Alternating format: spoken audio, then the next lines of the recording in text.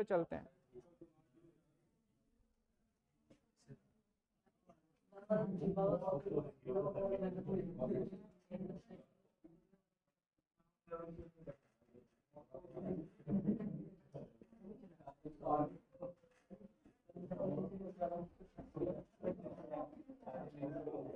Sir छठे adjustment में। छठा एडजस्टमेंट है बेड डेट्स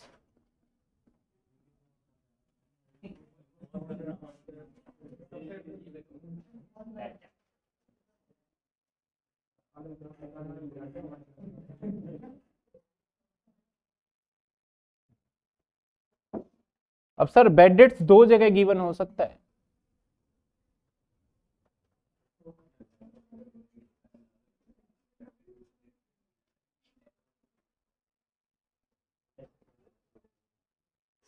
सर, दो जगह गिवन हो सकता है बेड डेट्स कहाँ गिवन हो सकता है? एक तो गिवन इन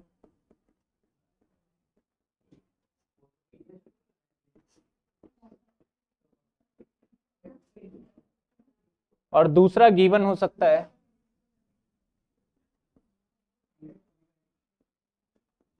एडजस्टमेंट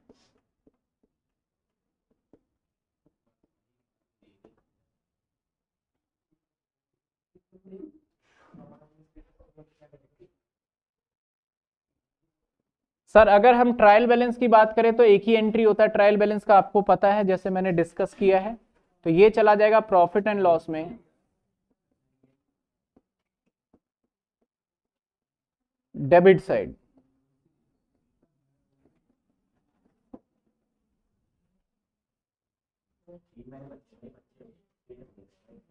इसके बाद अगर बात करें एडजस्टमेंट में तो दो जगह चला जाएगा।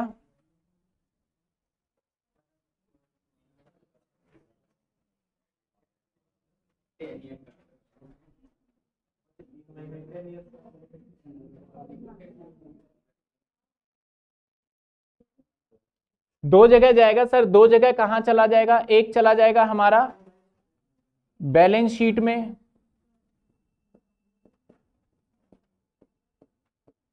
दूसरा आ जाएगा प्रॉफिट एंड लॉस में।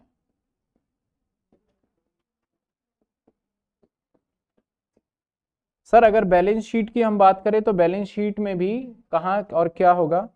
बैलेंस शीट में हो जाएगा लेस फ्रॉम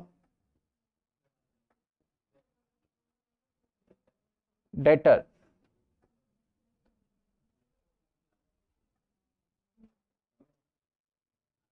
और आपका पी एंड एल क्या आ जाएगा? Debit side.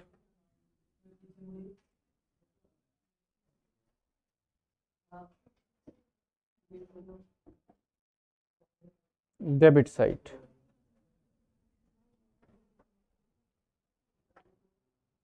sir अगर बेड डेट्स हुआ तो ये, अब बेड डेट्स के अंदर थोड़ा सा ट्विस्ट है। एक होता है प्रोविज़न फॉर डाउटफुल डेट्स तो प्रोविज़न फॉर डाउटफुल डेट्स को भी मैं अलग लेके चल रहा हूँ, फिर दोनों को मिक्स करके लेके चलेंगे। तो ये था एडजस्टमेंट नंबर छह। ये समझ में आया क्या करना है? सात पे चलते हैं।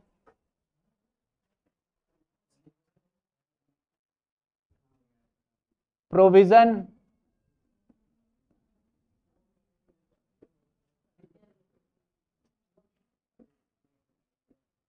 बेड डेट्स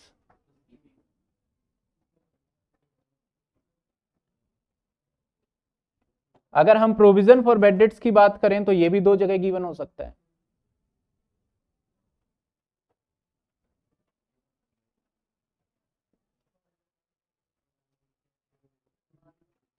एक गिवन हो सकता है गिवन इन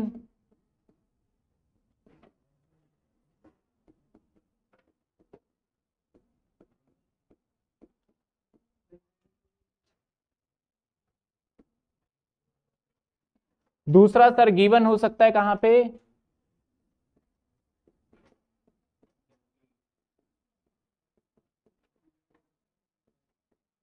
एडजस्टमेंट।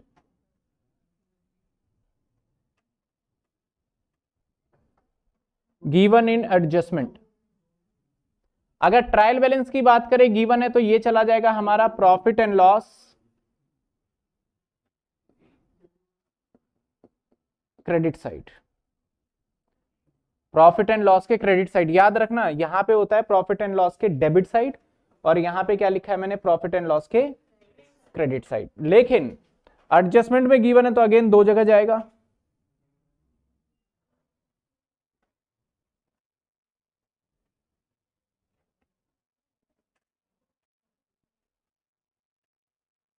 सर, कहाँ दो जगह पहले तो आप कर दोगे लेस यानी पहले चला जाएगा बैलेंस शीट में। और दूसरा चला जाएगा सर प्रॉफिट एंड लॉस में।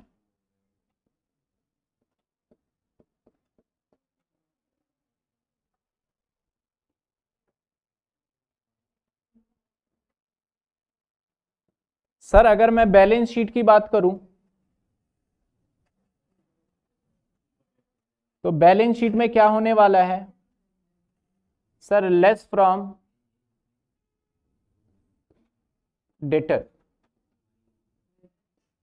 और अगर पी एंड एल की बात करूँ तो debit side profit and loss account sir, ध्यान दीजिएगा यहाँ पे।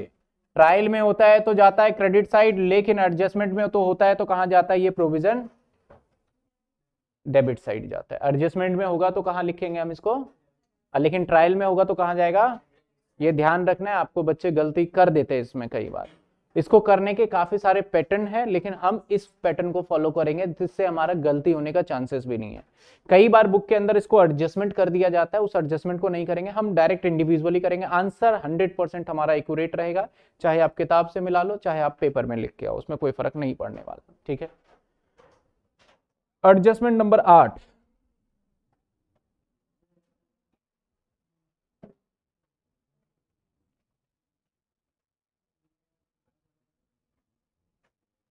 Provision for debtor and bad debts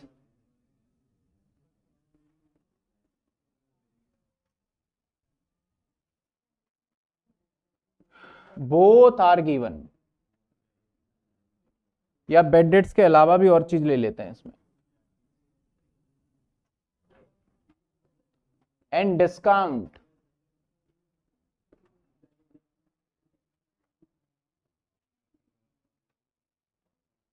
on debtor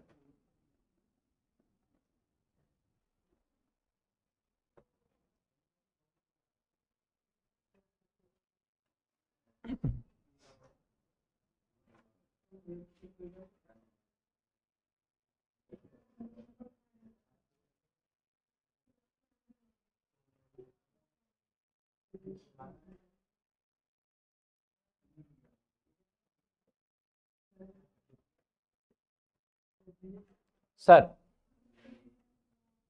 या तो गिवन हो सकता है आपका।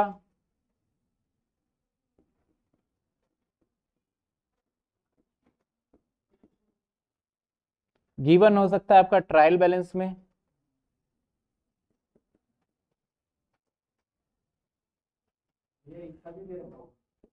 हम्म। गिवन हो सकता है आपका ट्रायल बैलेंस में।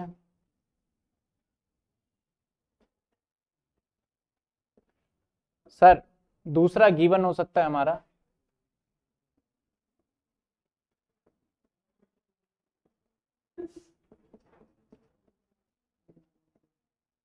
एडजस्टमेंट में।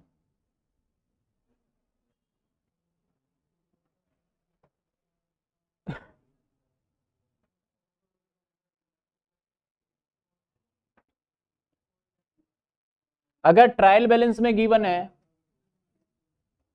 तो सर यहाँ पे तीन चीज़ें आप गौर करो नोटिस करो।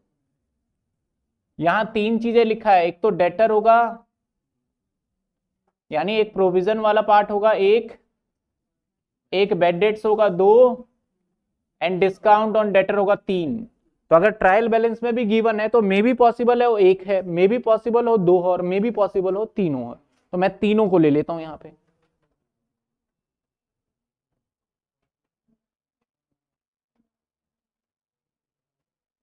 सर ट्रायल बैलेंस में गिवन होगा। तो हम पहले बात करें बेड डेट्स की। फिर बात करते हैं प्रोविज़न की।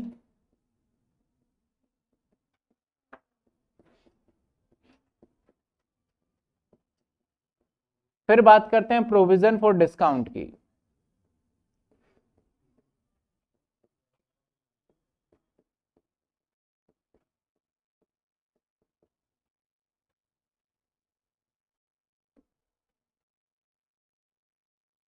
फिर बात करते हैं प्रोविज़न फॉर डिस्काउंट की। बेड डेट्स की बात करें तो पता है कहाँ जाएगा ये? प्रॉफिट एंड लॉस में और debit side profit and loss के डेबिट साइड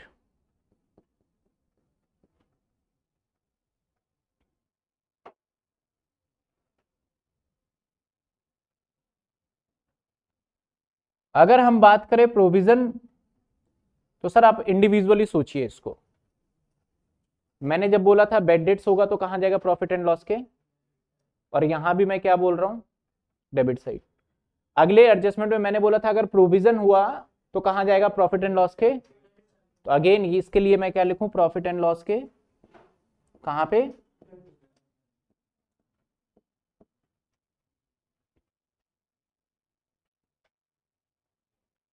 अगर प्रोविज़न फॉर डिस्काउंट हुआ तो ये भी जाएगा प्रॉफिट एंड लॉस के।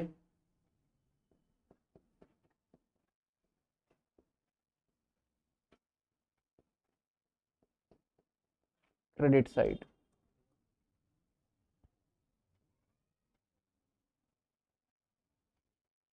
हम एग्ज़ाम्पल भी लेंगे। पहले मैं बता रहा हूँ कि कहाँ कहाँ जा रहा है, फिर एक एग्ज़ाम्पल लेके फिर समझ लेंगे। ठीक है ना? चलिए सर गिवन अगर एडजस्टमेंट में हुआ तो क्या करना है? अगर एडजस्टमेंट में गिवन हुआ तो दो जगह एंट्री जाएगी।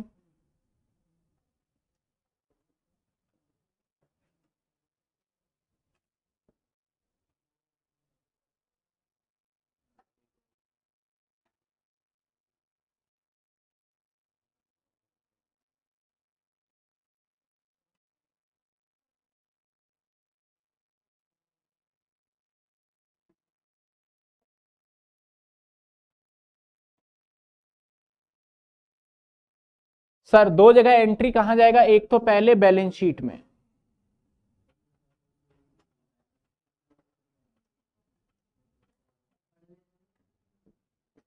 एक तो जाएगा बैलेंस शीट में। बैलेंस शीट में भी इसका एक ऑर्डर फिक्स है। डेटर लिखा होगा आपके पास। डेटर में से सबसे पहले माइनस करना है हमें।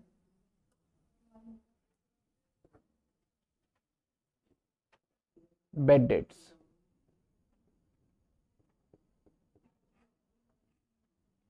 फिर डेटर में से माइनस करेंगे, जो बैलेंस आएगा। माइनस करेंगे प्रोविज़न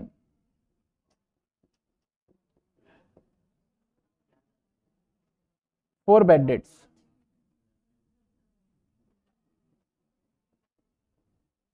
यहाँ बैलेंस आया, इसमें से माइनस करेंगे ये।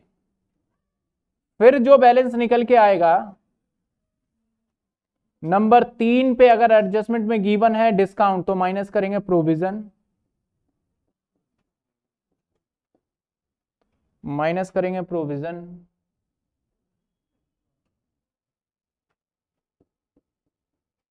For discount.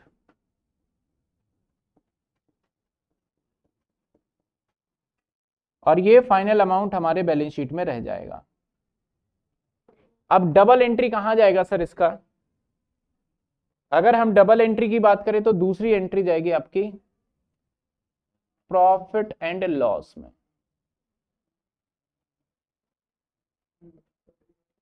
Profit and loss account में।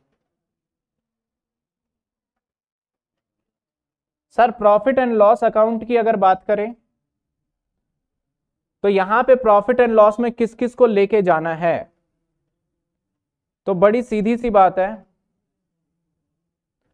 एक तो हम लेके जाएँगे प्रॉफिट एंड लॉस में इस बेड डेट्स को। एक लेके जाएँगे प्रोविज़न को। एक लेके जाएँगे और एक लेके जाएँगे यानी तीन आइटम जाएगा। एक तो बेड डेट जाएगा, एक प्रोविज़न जाएगा और डिस्काउंट जाएगा। जब जब डेटर में से माइनस करते हैं ना, यानी एडजस्टमेंट वाला जो पार्ट होता है सर उसको जब हम लेके जाते हैं तो ये पता है क्या होने वाला है आपका? सर ये डेबिट होगा। कहा पी एंडल के ये भी सर और ये भी मैंने गलत नहीं लिखा है। कुछ बच्चे सोचेंगे, सर, गलती तो नहीं कर दी, अभी तो क्रेडिट बताया था आपने।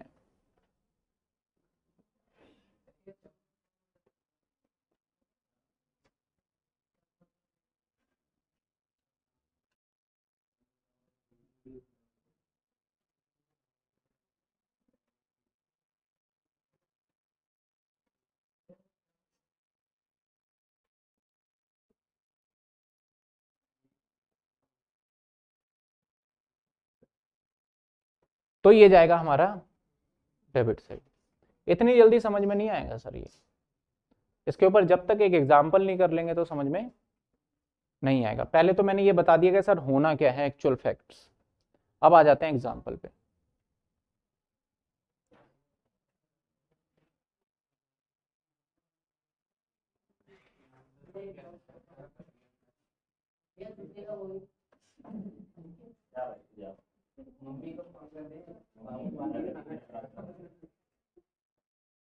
देखो, चिंता मुझे होनी चाहिए।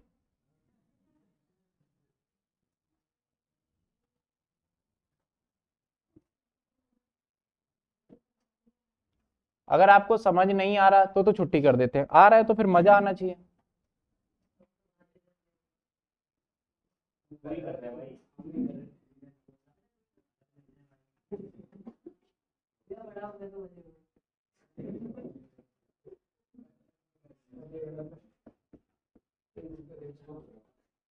सर, एक ट्रायल बैलेंस और उसके नीचे मैं क्वेश्चन भी लिखने वाला हूँ। और दो तीन क्वेश्चन कर लेंगे तो बेटर रहेगा। सबसे पहले हमारा है डेटर मान लेते हैं एक लाख।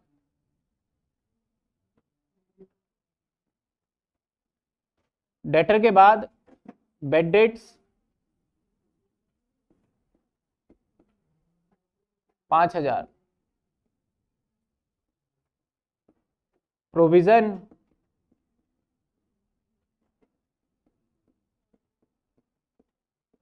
डेटर छ हज़ार। प्रोविज़न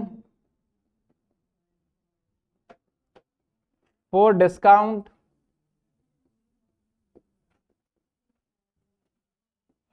तीन हज़ार।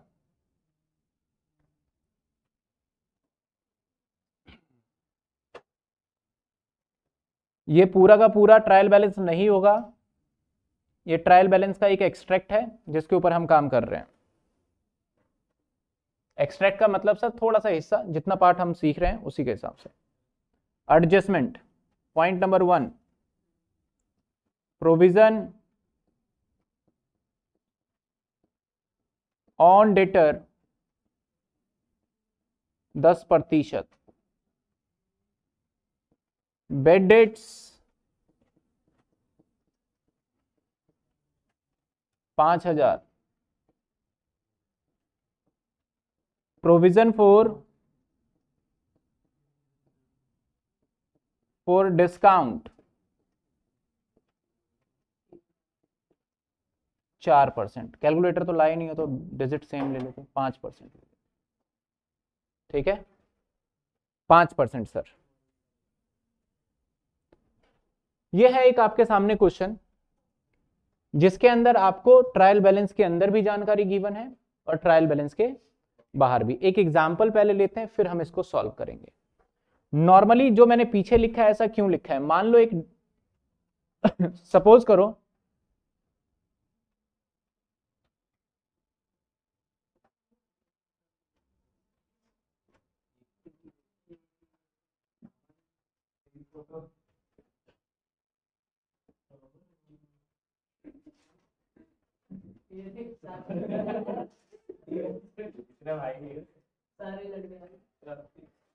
ठीक है?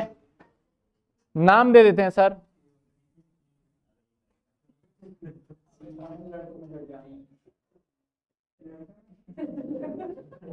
हमने इसको सामान बेचा है। इसको इसको हमने ध्यान दो ध्यान दो इंटरेस्टिंग है। इसको मैंने सामान बेचा है पाँच हज़ार का। इसको पाँच हज़ार का। इसको दस हज़ार का। इसको छ हज़ार का।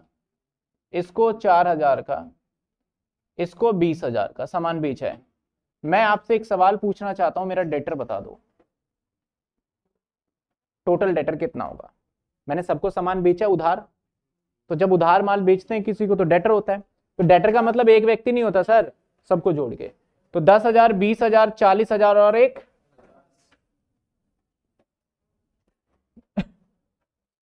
मान लेते हैं। अब कितने व्यक्ति हैं? छ सपोज़ करो, जो पर्सन नंबर हमारा सी है।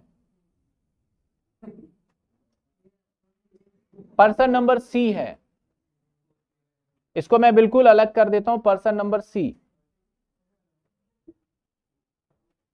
इस पर्सन नंबर सी की बात करें तो किसी रीजन से? उल्टा नहीं हो गया।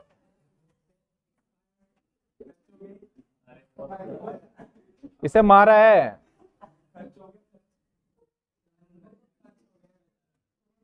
यानी सर, एक व्यक्ति सी जो था, उसकी डेथ हो गई। जब इसकी डेथ हो गई तो उससे पैसे ले लोगे क्या? लेने के लिए आपको भी जाना पड़ेगा। ठीक है ना? तो इससे पैसे तो नहीं ले सकते। इसे बोलते हैं बेड डेट्स ठीक है? जैसे ही एक नुकसान हुआ, मुझे लगता है इसमें से भी कोई ना मर जाए। इसमें से भी कोई मर गया तो और टेंशन है। तो अब इन सभी के ऊपर मैं सोच के चलूँगा, यार, इसके ऊपर अगर इसमें से कोई मर गया तो ये भी नुकसान। एक नुकसान तय हो गया तो मैं जब डेटर अपना निकालने जाऊँगा, कोई मुझसे पूछेगा, भैया डेटर कितना है? तो मैं बोलूँगा डेटर तो यार पचास था, इसमें से तो एक चला ही गया। तो बेड डेट्स हो गए हमारे कितने? दस हज़ार रुपए चला गया दैट इज़ चालीस, एक तरीका ये। अब भैया, जो ये बच गए ना पाँच, इन पाँचों के ऊपर आप डाउट करोगे। और डाउट करने के बाद एक कंजर्वेटिव अप्रोच फॉलो करोगे। कंजर्वेटिव ग्यारहवीं क्लास में एक आता था प्रूडेंस के फ्यूचर में होने वाले लॉसेस को आज ही रिकॉर्ड कर लीजिए और फ्यूचर में होने वाले प्रॉफिट को इग्नोर कर दीजिए। तो सर फ्यूचर में हो सकता है, नहीं हो सकता नुकसान? कोई मर सकता है? या पैसे लेके भाग भी सकता है? तो फ्यूचर में लॉस हम मान लेते हैं कि यार, कितना लॉस होगा? कि एक परसेंटेज के टर्म्स में डिटरमाइन करेंगे। ऐसे नहीं बोलेंगे कि भाई तू पैसा नहीं दे सकता फ्यूचर में, मुझे डर लग रहा है। तो वैसे ही भाग जाएगा ये तो। तो मैं एक डिटरमाइन करूँगा क्या परसेंटेज सर, एक परसेंटेज डिटरमाइन करूँगा और वो परसेंटेज मैंने डिटरमाइन कितना कर लिया, सर? मान लेते हैं दस परसेंट मैंने डिटरमाइन किया कि दस परसेंट शायद और डूब जाए। तो मैं यहाँ पे माइनस करूँगा, सर लेस कर दूँगा। यार, ये भी मान लेते हैं लेस हो गया। प्रोविज़न इसको बोला जाता है प्रोविज़न दस परसेंट। बचे कितने? Thirty six thousand. अब देखो यहाँ पे डेटर के कैटेगरी आ गए ये वाला जो डेटर था हमारा, ये डेटर के अंदर थोड़ा मतलब ये पूरे पैसे तो नहीं मिल रहे। तो मैं बोल सकता हूँ इसके अंदर वो भी व्यक्ति जुड़ा हुआ था, जो कि पैसे नहीं देगा और वो अंदाज़ा भी है जिसे हम सोच रहे पैसे तो अब जो बचा है, ये इन दोनों को मैंने गंदे डेटर को निकाल दिया दोनों को। जब इन दोनों गंदे डेटर को निकाल दिया तो अब ये जो बचा ये सारे अच्छे अब डिस्काउंट देने की बारी आएगी। तो डिस्काउंट किसको दिया जाता है? जो अच्छे डेटर है। अब ये मर गया, इसको डिस्काउंट देके क्या करेंगे? ठीक है ना? जो बेकार डेटर है, पैसे डूब जाएगा, बोले, भैया, तू दे तो रानी और तू डिस्काउंट और मांग रहा है। तो डिस्काउंट किसको देंगे? हमेशा गुड डेटर को। तो अब माइनस होगा हमारा। मान लेते हैं कि हमने डिस्काउंट रखा है पाँच परसेंट। ये मेरे लिए खर्चा है। प्रोविज़न का मतलब ये भी हमें खर्चा ही मानना पड़ेगा। और ये तो हमारा डिस्काउंट दे रहे हैं तो ये भी क्या होगा, हमारा खर्चा होगा। एक तो इसका सॉल्यूशन करने का तरीका ये है। अब एक सॉल्यूशन ऐसे भी कर सकते हैं बच्चे। तो आप ऑब्ज़र्व करिएगा। मैंने डेटर लिखा पहले माइनस कर दिया इसमें से प्रोविज़न पाँच हज़ार आ जाएगा, बचे कितने? फिर माइनस किया इसमें से बेड डेट्स बेड डेट्स पहले से गिवन था दस हज़ार तो बचे कितने? पैंतीस, अब दिया मैंने डिस्काउंट सत्रह सो पचास। अब समझना, मैंने इस पचास हज़ार पे पहले माइनस किया प्रोविज़न यानी पचास हज़ार के ऊपर मुझे डाउट है कि मुझे पैसे नहीं मिलेंगे दस परसेंट, पचास हज़ार पे डाउट तो सर डाउट इसके ऊपर तो आपने कर मतलब आपने किस किस पे डाउट किया? सर, इस पे भी डाउट किया, इस पे भी डाउट किया, इस पे भी डाउट किया, इस पे भी डाउट किया, इस पे भी डाउट किया, और इस पे भी डाउट कर लिया है। कर लिया ना? क्योंकि पूरे पचास पे माना है। तो इस पे डाउट करने वाली बात है क्या? है ही नहीं, सर। ये तो मर गया। ये तो पैसे देगा नहीं। मैं, मैंने प्रोविज़न मैं वही चीज़ समझाने चाह मैंने पहले क्या माइनस किया? प्रोविज़न अब आप इस पे भी डाउट कर रहे हैं, इसका मतलब ये गलत है सर आपका। आप ये कर ही नहीं सकते। तो आपको डाउट किस पे करना है? पहले डेटर में से जो बेड डेट्स हो चुका है, उसको हटाओ। जो बच गए, उसके ऊपर डाउट करो और डिस्काउंट सबसे प्योर डेटर को दो, जो बढ़िया डेटर है। आपके एडजस्टमेंट में कैसे गिवन है नंबर वन पे बोलता है प्रोविज़न है सर। क्या मैं पहले प्रोविज़न लगा सकता हूँ? पहले क्या करना पड़ेगा? फिर ये फिर ये। यही चीज़ मैं यहाँ पे बता रहा था, ये सीक्वेंस फॉलो करना ज़रूरी है। क्यों सीक्वेंस बना है? बायोलॉजिकल समझो। ऐसा नहीं कि पहले दे दिया यार, पहले बेड डेट्स माइनस कर देते हैं। नहीं लॉजिकल है। अगर मैं पहले प्रोविज़न माइनस कर दूँगा तो इसका मतलब सर, आप उसके ऊपर भी डाउट कर रहे हो, जो डेटर आपका है ही नहीं। तो इसलिए पहले नंबर वन पे क्या माइनस करोगे? क्या? बिल्कुल सही। अब ये डाउट जो हमने लिखा है, ये डाउट सही भी तो नहीं है। मान लेते हैं आपने सोचा था कि चार हज़ार पैसा डूबेगा। अब चार हज़ार अगर आपने सोचा पैसा डूबेगा, लेकिन एक्चुअल कितना डूबा? तो दो हज़ार तो एक्स्ट्रा खर्चा मान के बैठे हो। जब अगले साल के पीएनडल बनाएँगे ना तो इसको इनकम मान लेंगे। तो कंपनसेट हो गया ना? इस साल चार हज़ार खर्चा मान के बैठे अगले साल क्या मान रहे हैं हम? इनकम तो चार हज़ार अगले साल दो साल का इनकम मानेंगे तो एक्चुअल दोनों साल के अगर बैलेंस शीट को टैली करोगे तो कितना खर्चा बुक किया सिर्फ़ हमने? इसलिए मैं बोलता हूँ, जो ट्रायल बैलेंस के अंदर प्रोविज़न गिवन होता है ना, ये वो गिवन होता है जो हुआ ही नहीं। यानी ये ओल्ड है। तो जो ट्रायल बैलेंस के अंदर गिवन है, जो हुआ ही नहीं तो इसलिए ट्रायल बैलेंस वाले प्रोविज़न को मैंने कहा दिखाया देखो। इनकम है, समझ रहे हो? सेम डिस्काउंट में भी तो ये हो सकता है, हमने डिस्काउंट दिया, कोई बोलता है, मुझे डिस्काउंट नहीं चाहिए। तो सेम उसके बाद क्या बन जाएगा? इनकम बन जाएगा। ये पॉइंट समझ में आया पहले? ये सारा पॉइंट समझ में आ गया। अब इसका ट्रीटमेंट कैसे कैसे पीएनडल में करेंगे, ये देख लेते हैं। इसे मैं अगेन यहाँ से हटाने जा रहा हूँ। जिन बच्चों को इससे पूरा नोट करना है, मैं कहूँगा एग्ज़ाम्पल नोट करेंगे तो मैं ये वीडियो दूँगा बच्चों को। तो वो आराम से पॉज करके धीरे धीरे समझ समझ के नोट कर लीजिएगा। सर, अब इसका आंसर करते हैं।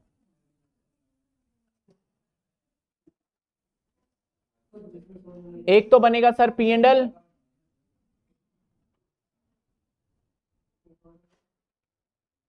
और एक बनेगा बैलेंस शीट दो ही चीज़ तो करना है आपको।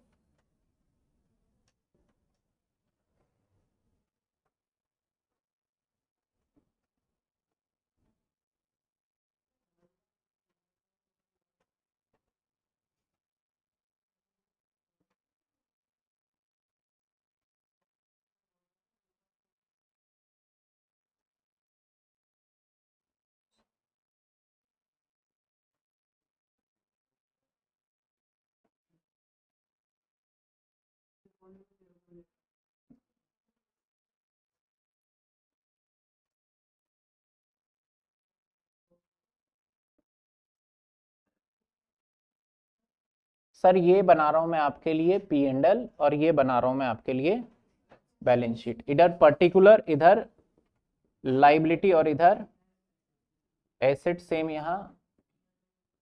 पर्टिकुलर यहाँ भी पर्टिकुलर और यहाँ अमाउंट यहाँ अमाउंट सबसे पहले ना हम ट्रायल बैलेंस के काम को करते हैं, उसके बाद क्या करते हैं? एडजस्टमेंट तो ट्रायल बैलेंस के काम को किया जाए तो ट्रायल बैलेंस में हम देख लेते हैं क्या क्या इन्फॉर्मेशन उसके अकॉर्डिंग हम यहाँ पे लिख लेते हैं। सर ट्रायल बैलेंस में क्या क्या इन्फॉर्मेशन है? डेटर डेटर कहाँ जाता है? बैलेंस शीट के एसेट्स में। मैंने यहाँ लिखा डेटर एक लाख। ठीक है? उसके बाद बेड डेट्स दे रखा है। कहाँ दे रखा है sir bad debts trial balance trial balance को ट्रायल बैलेंस के हिसाब से ट्रीट करना है एडजस्टमेंट को एडजस्टमेंट के हिसाब से ट्रीट करना है। दोनों को अलग अलग लेके चलो। कई बच्चे बार बार पता है क्या पूछते हैं? सर एडजस्टमेंट में भी बेड डेट्स है और ट्रायल में भी बेड डेट्स है तो क्या करें? तो मैंने बोला, भैया एडजस्टमेंट लिखवाए तो है। बोला हाँ वो तो समझ में आ गया, लेकिन अब एडजस्टमेंट में भी है, दोनों जगह हो तो क्या करेंगे? तो ये जो एडजस्टमेंट है दोनों जगह भाई ट्रायल का है तो ट्रायल के हिसाब से सोच के कर दीजिए। और जो एडजस्टमेंट वाला है, किसके हिसाब से सोच के कर दीजिए? तो अभी मैं कौन से वाले की बात कर रहा हूँ? ट्रायल वाले की बात कर रहा हूँ तो ट्रायल वाले में क्या बोला था मैंने कि अगर बेड डेट्स होगा तो कहाँ लिखना पी एंडल के डेबिट में? तो सर, मैं यहाँ लिखूँगा बेड डेट्स कितने? अंदर लिख रहा हूँ, समझाएँगे क्यों? बाहर लिख दो, कोई बुराई नहीं है। इसके बाद प्रोविज़न फॉर बेड डेट्स है। कहाँ गिवन है? ट्रायल में। तो ये भी पी एंडल में जाएगा, लेकिन पी एंडल के आपका P F D short form में लिख रहा हूँ प्रोविज़न फॉर डाउटफुल डेट्स कितने? सर प्रोविज़न फॉर डिस्काउंट है कहाँ जाएगा? क्रेडिट साइड में, क्योंकि ट्रायल वाले को ट्रायल के हिसाब से सोचिए ना।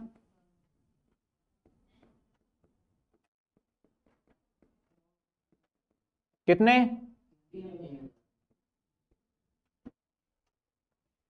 समझ में आ रहा है? अब एडजस्टमेंट को किसके हिसाब से सोचना है? तो एडजस्टमेंट में सबसे पहले मैंने क्या बताया? सर बैलेंस शीट में से पहले माइनस करिए। उसके बाद एक एक करके कहा ले जाइए? पी एंडल और जब बैलेंस शीट में से माइनस होगा तो पी एंडल में सारा कहाँ पहुँच जाएगा? डेबिट साइड पे पहुँच जाएगा। तो सर, यहाँ पे हम डेटर में से सबसे पहले क्या माइनस करें? आपके सामने तीन चीज़ें हैं। क्या माइनस करें? पहले बेड डेट्स माइनस कर लेते हैं।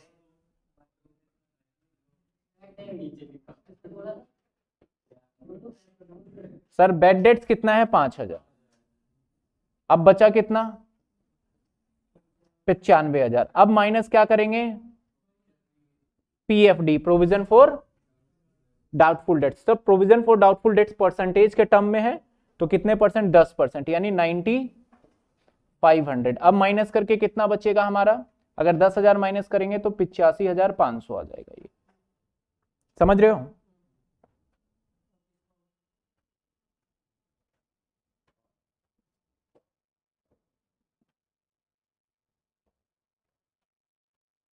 चलिए सर अब इसके बाद अगला क्या माइनस करें इसमें से?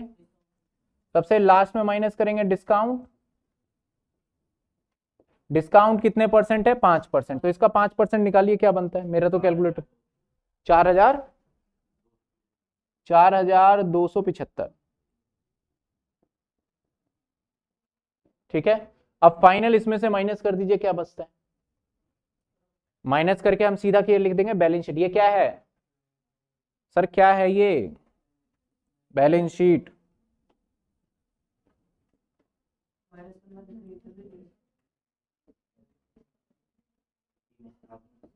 कितने आ रहे हैं? अरे माइनस करना है।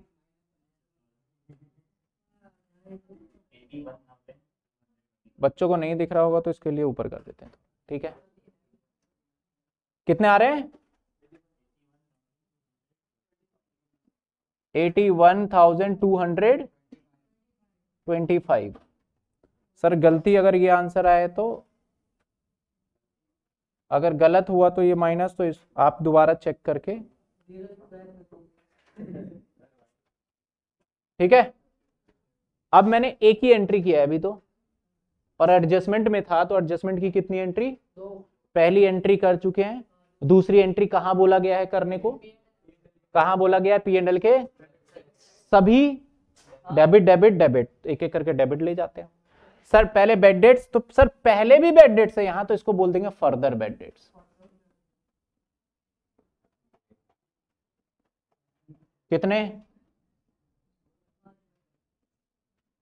सर पहले प्रोविज़न था वो तो क्रेडिट था इसे तो इधर लिखो। प्रोविज़न फॉर कितने? अरे पिचानवे थोड़ी है। हाँ पिचानवे, सौ बोलो ना, पिचानवे पिचानवे प्रोविज़न भी इधर आ जाएगा। For discount four to